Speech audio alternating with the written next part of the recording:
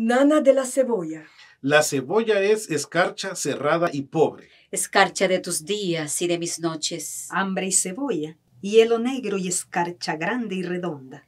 En la cuna del hambre mi niño estaba. Con sangre de cebolla se amamantaba. Pero tu sangre escarchaba de azúcar, cebolla y hambre.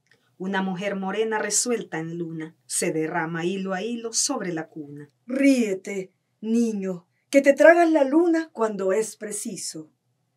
Alondra de mi casa, ríete mucho. Es tu risa en los ojos la luz del mundo. Ríete tanto que en el alma al oírte bata el espacio.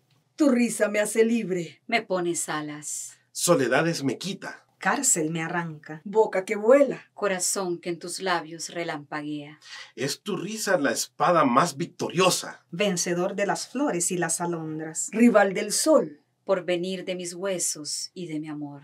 la carne aleteante, Súbito el párpado. Y el niño como nunca coloreado. Cuánto jilguero se remonta. Aletea desde tu cuerpo.